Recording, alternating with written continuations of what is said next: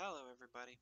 So I'm going to show you a little trick, little technique that's going to help you out with fresh herbs and uh, getting them prepared from off the stem.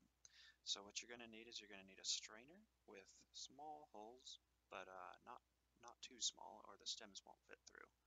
So then you're just going to take the stems, you're going to put them through like that, and then you're just going to pull it right through and it will leave the leaves and uh, you'll, you'll have the stem to go ahead and get rid of. And just like that. And then from there, once you're finished with that, you're going to take the uh, leaves out of there and then you're going to um,